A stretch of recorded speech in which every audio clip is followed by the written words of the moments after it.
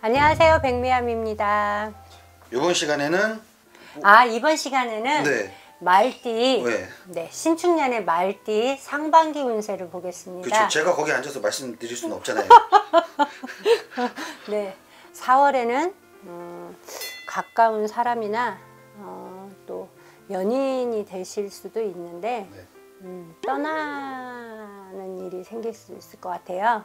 또 이별하시는 일 그것이 또 제가 음, 볼 때는 또 상문이 될 수도 있습니다.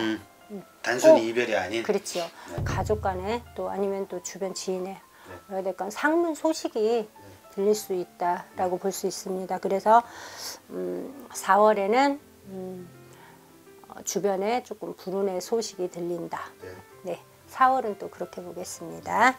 음, 그 대신에 건강은 조금 좋게 들어와요. 건강. 4월에. 네네. 그래서 어, 조금 혹시나 뭐 앓고 있었던 병이 있었거나 네. 그랬으면 조금 많이 회복됐다, 나아졌다 이런 소식이 들을 수도 있습니다. 4월에는 5월 볼게요. 5월에는 귀인이나 어떠한 이런 사람 인연적인 수에서 어, 골치 아팠던 일들이 해결이 되는 도움을 받습니다. 5월 달에.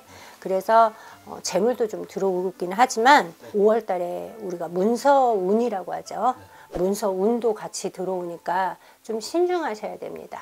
어, 운이 나쁘게 들어오지는 않는데 그래도 자칫 잘못하면 문서를 놓지 말아야 할 거를 우리가 사인하게 되는 경우도 생길 수 있으니까 좀 신중을 기하는 문서를 갖도록 해라. 네. 어, 5월에는 좀 그렇게 볼게요. 네. 그리고 6월 보겠습니다.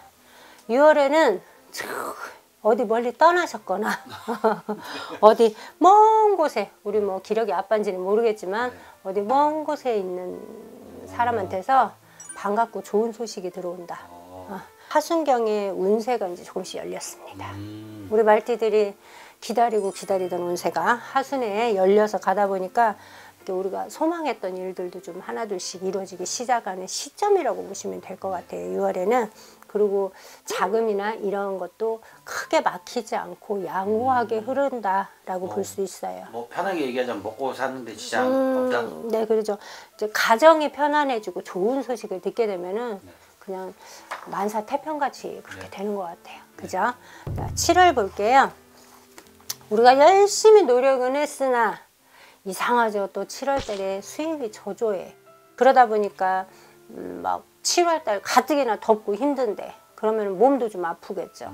어, 안 하던 막 스트레스가 막 만병의 근원인 스트레스가 오니까 몸도 조금 안 좋다. 어, 그런 소리도 나올 수 있습니다.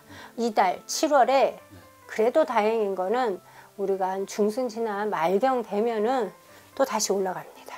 음, 만회가 돼요. 아. 어, 만회가 되니까 네.